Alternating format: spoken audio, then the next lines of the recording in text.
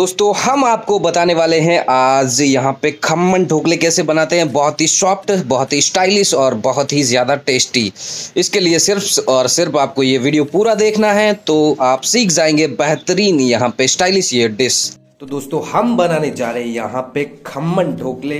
तो उसके लिए हमने एक कटोरी बेसन लिया है और ये हमारे पास नींबू का सत है, करीब एक से डेढ़ चुटकी।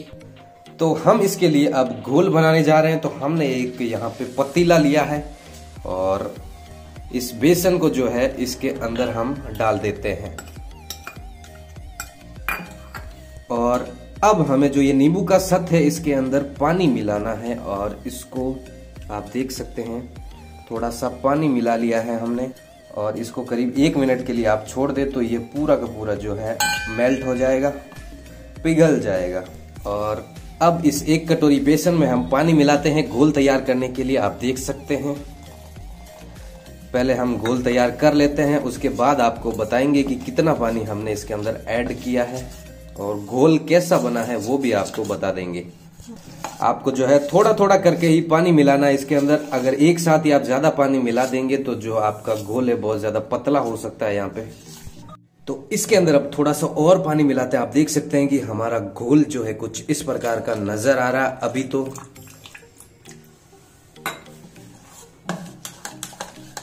पानी मिला के आपको इसको जो है और थोड़ा सा पतला करना है। इसको अच्छी तरीके से आपको फेंट लेना है, बहुत ही अच्छी तरीके से आपको चलाना है इसको। दोस्तों, आप देख सकते हैं कि हमारा गोल जो है लगभग तैयार हो चुका है और एक भी गांठ यहाँ पे इसमें नहीं है और कोई भी सलवटे यहाँ पे नहीं बची है। तो अब हम जो ये नींबू का सत हमारा मेल्ट हो चुका है, इसको हम इसके अंदर मिला लेते हैं। और ये एक सीक्रेट है यहाँ पे नींबू का सत जिससे आपके जो यहाँ पे ढोकले हैं वो बहुत ज़्यादा यहाँ पे टेस्टी बनेंगे और ये फूलेंगे भी बहुत अच्छी तरीके से। तो आप अगर नींबू का सत खाना पसंद नहीं करते या आपके पास अवेलेबल नहीं हो तो आप एक नींबू भी इसके अंदर निचोड़ सकते हैं। और इसके अंदर हमने जो है करीब आधा ग्लास, छोटी वाली जो ग्लास होती है, उसका आधा ग्लास हमने पानी यूज़ किया था। दोस्तों, घोल तैयार होने के बाद आपको जो है इसको ढक के है, आपको आधे घंटे के लिए है, वो रेस्ट करने के लिए छोड़ देना है। ऐसे ही फिर आधे घंटे बाद हम इसको वापस से चेक करेंगे। तो दोस्तों, आप देख सकते हैं करीब आधा घंटा यहाँ पे हो चुका है और यहाँ पे हमारा जो ये घोल है, थोड़ा सा हमें गाढ़ा नज़र आ रहा है, इसलिए थोड़ा सा पानी हम इसके अंदर और ऐड कर देते हैं। अगर आपको भी लगे आपका जो घोल गाढ़ा है तो आप उसके अंदर पानी ऐड कर सकते हैं, वरना आपको कोई ज़रूरत नहीं है। पानी ऐड करके फिर से हम इसको थोड़ा सा पतला कर देते हैं, आप देख सकते हैं। ये अब कुछ इस प्रकार का नज़र आ रहा है और अब इसके अंदर और भी कई चीज़ें हैं मिलाने की तो हम उनको मिला लेते हैं। तो दोस्तों, इसके अंदर हमारे पास आप देख सकते हैं, अदरक लहसुन का पेस्ट मौजूद है। वो आपको डालना है पाँच छह कलिया लहसुन की, एक टुकड़ा अदरक का हमने यहाँ पे कूट के पेस्ट बनाया है। ये हमने डाल दिया। इसके अलावा हमारे पास यहाँ पे मौजूद है हरी मिर्च बारीक कटी हुई। एक, इसको भी हमें इसके अंदर मिक्स कर देना है। तो आप देख सकते हैं, हमने यहाँ पे डाल दिया है और इसको अच्छी तरीके से आपको हिला देना है। और अब बारी आती है नमक डालने की। तो साधारण नमक हम डाल देते हैं, यहाँ पे करीब एक चम्मच। या आपके स्वाद के अनुसार आप इसको जो है डाल सकते हैं। नमक मिलाने के बाद दोस्तों बारी आती है यहाँ पे चीनी मिलाने की। तो हमारे पास दो चम्मच चीनी है, दो छोटे चम्मच जो आते हैं, वो चीनी हमने ले ली है और ये चीनी आपको इसके अंदर मिला देनी है और इसको भी जो है मिक्स कर देना है। तो दोस्तों, अब हम इसके अंदर वेजिटेबल ऑयल डालते हैं। आप देख सकते हैं, करीब एक चम्मच वेजिटेबल ऑयल आपको इसके अंदर मिला देना है और इसको जो है अच्छी तरीके से वापस मिक्स कर देना है इसके अंदर। और अब हम इसके अंदर मिला देते हैं हल्दी पाउडर थोड़ा सा करीब एक चुटकी थोड़ा सा कलर इसका अच्छा हो जाएगा इसके लिए।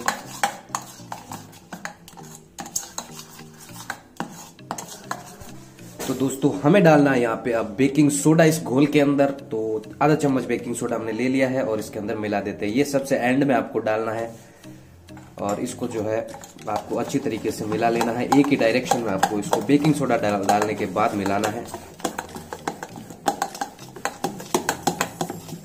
इससे हमारा जो घोल है, वो थोड़ा सा और ज़्यादा फूल जाएगा। आप देख सकते हैं, फूल चुका है ये। कुछ इस प्रकार से।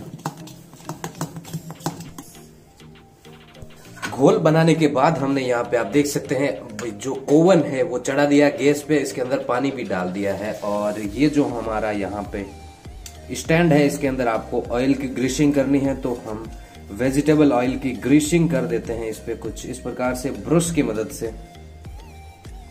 और इस ओवन के अंदर जो है आपको करीब दो ग्लास के करीब पानी डाल देना है और इसको गर्म होने के लिए रख देना है। ऑयल की ग्रीसिंग हमारी हो चुकी है और घोल भी तैयार है। अब हम इस घोल को जो है इसके अंदर फील करते हैं। आप देख सकते हैं कुछ इस प्रकार से आपको इस घोल को जो है फील कर देना है।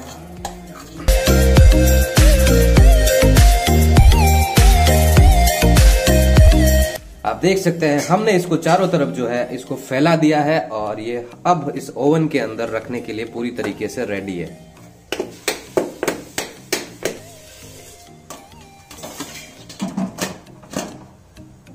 तो दोस्तों, हमने इसको यहाँ पे ओवन में रख दिया है और अब आपको करीब 15 से 20 मिनट तक इसको पकाना है, फुल आँच के ऊपर ढक्कन देके, लेकिन उससे पहले यहाँ पे हम जो लाल मिर्च पाउडर आता है, उसकी गार्निश कर देते हैं। आप देख सकते हैं कुछ इस प्रकार से। पूरे के पूरे इस स्टैंड पे जो है गार्निश कर देते हैं और इसको ढक्कन देके 15 से 20 मिनट के लिए छोड़ देते हैं। तो दोस्तों, आप देख सकते हैं, करीब 15 से 20 मिनट हो चुके हैं तो हम चेक कर लेते हैं चाकू की मदद से कि हमारे जो खम्मन ढोकले हैं, वो तैयार हुए हैं या नहीं। वाह, आप देख सकते हैं कितने शानदार ये लग रहे हैं, लेकिन आपको इनको चेक करना है। तो चाकू डाल के चेक करना। अगर चाकू पे कोई चीज़ आपके ना चिपके तो समझ सकते हैं कि ये रेडी है। आप देख सकते हैं कि यहाँ पे चाकू पे थोड़ा इनका भाग चिपक रहा है तो पाँच मिनट इनको जो है और लगेंगे। इसी तरह आप इनको बीच में चेक कर सकते हैं। तो दोस्तों, अब जो हमें लगता है कि हमारे यहाँ पे खम्मन जो ढोकले हैं, वो रेडी हैं। तो अब हम ढक्कन हटा के एक बार फिर चेक कर लेते हैं।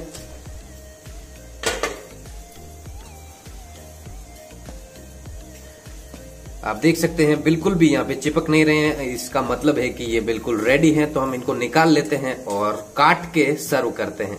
तो दोस्तों, इसको स्टैंड को हमने हटा लिया है और अब जो है, हम इसको थोड़ा सा ठंडा होने के लिए करीब पाँच मिनट के लिए छोड़ देते हैं और बाकी इसके ऊपर जो हम गार्निशिंग करेंगे, उसके लिए हम तैयारी शुरू करते हैं। यहाँ पे फ्राई पैन हमने चढ़ा लिया, इसके अंदर आपको ऑयल डालना है। एक एक चम्मच हमें ऑयल यहाँ पे डाल देना है। तो दोस्तों ऑयल हमारा गर्म हो चुका है, इसके अंदर हम तड़का लगाते हैं। तो आप देख सकते हैं, एक चम्मच राई का तड़का हमने लगा दिया है। और आपको जीरे का भी साथ में तड़का लगा देना है, करीब आधा चम्मच। इसके अलावा हमारे पास कड़ी पत्ते और तिल है व्हाइट तिल, इनका भी आपको तड़का एक साथ लगा देना है। इसके अलावा हींग हमारे पास मौजूद है। तो हींग का भी हम तड़का इसी के साथ लगा देते हैं, करीब आधा चम्मच, छोटे वाला आधा चम्मच होता है, वो डालना है। तो हमने यहाँ पे तड़का लगा दिया है। गैस को आपको धीमे कर देना है और इसके अंदर आप डाल देनी है मिर्ची। हरी मिर्ची है, बारीक कट, जो लंबी कटी हुई, इसको हमें इसके अंदर मिक्स कर देना है।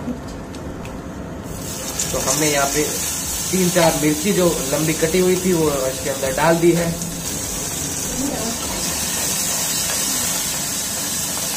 ये सभी चीज़ें डालने के बाद इनको करीब एक मिनट तक आपको पकाना है कुछ इस प्रकार से। तो दोस्तों, ये एक मिनट पकने के बाद आपको इसके अंदर वाटर ऐड करना है तो हम पानी मिला देते हैं। और ये पानी आपको मिला देना है करीब एक से डेढ़ ग्लास ये ग्लास का साइज़ आप देख सकते हैं हमारा तो आप भी जो है कुछ इस प्रकार से वाटर ऐड कर सकते हैं। और आपको अपने गैस को जो है वापस से मीडियम या फुल कर देना है। और इस मिक्सचर के अंदर आप यहाँ पे नींबू निचोड़ दें। एक आधा नींबू निचोड़ना है आपको। अगर आप चाहें तो इस स्टेप को जो है छोड़ भी सकते हैं। यानी नींबू अगर नहीं पसंद है तो मत डालें। अब आपको नमक डालना है इसके अंदर, करीब आधा चम्मच। और इसको जो है अच्छी तरीके से सभी चीज़ों को हिला देना है। और इस मिक्सचर के अंदर आपको चीनी ऐड करनी है तो करीब तीन चम्मच हम चीनी ऐड कर देते हैं इसी के अंदर। और अगर आपको मीठा ज़्यादा पसंद है तो आप और भी चीनी ऐड कर सकते हैं। और दोस्तों, अब आपको जो है, इस सारे मिक्सचर को करीब दो उबाल आने तक आपको उबालना है।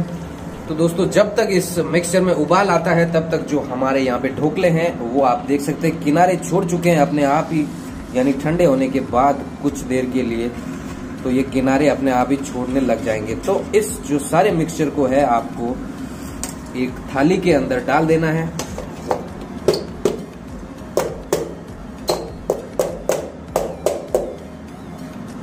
देख सकते हैं कि ये हमारा मिक्सचर जो है इस थाली के अंदर आ चुका है तो हम इसको वापस जो है सीधा कर लेते हैं। और अब इसको जो है काट लेते हैं। उल्टे चाकू का आप यूज़ करें ताकि जो कटिंग है वो बेहतरीन होगी, अच्छी होगी।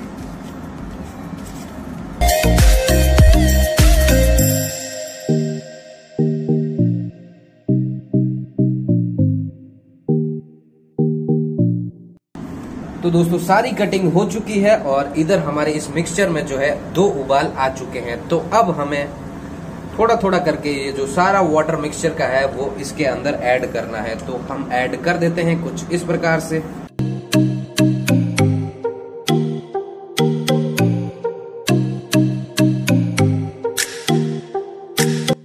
आप देख सकते हैं कि काफ़ी शानदार यहाँ पे हम गार्निश कर रहे हैं। इससे जो आपके ढोकले हैं, वो और भी ज़्यादा टेस्टी और थोड़ा स्वीटनेस के साथ आपके सामने पेश होने वाले हैं। कुछ ही देर में जो ये है, पूरा का पूरा वाटर ऑब्ज़र्व कर लेगा। आपको पता भी नहीं चलेगा कि हमने जो है इतना ये मिक्सचर ऐड किया था। काफ़ी शानदार और थोड़ा ये फुलाव भी यहाँ पे कर लेगा।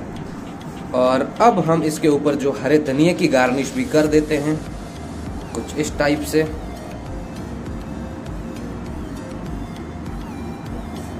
तो आप देख सकते हैं कि ये सारा जो यहाँ पे तो आप देख सकते हैं कि सभी चीज़ें रेडी है और हमारे जो खमन ढोकले हैं वो काफ़ी ज़्यादा जूसी और शानदार बने हैं। तो हम इनको जो है अब सर्व कर देते हैं।